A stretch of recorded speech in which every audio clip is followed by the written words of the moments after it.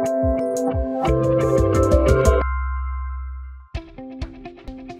everyone, my name is Corissa Jesseman, and welcome to my course Mac OS Development Fundamentals. I'm an independent Mac OS and iOS software developer. In the past few years, Mac OS has experienced a surge in popularity. In this course, we're going to learn how to build a Mac OS application from start to finish.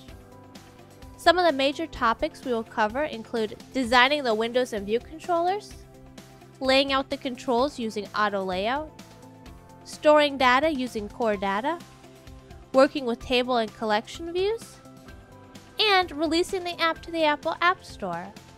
By the end of this course, you will know how to build a fully functional macOS app and be ready to develop your own app. Before beginning this course, you should be familiar with Swift. I hope you'll join me on this journey to learn macOS with the Mac OS Development Fundamentals course at Pluralsight.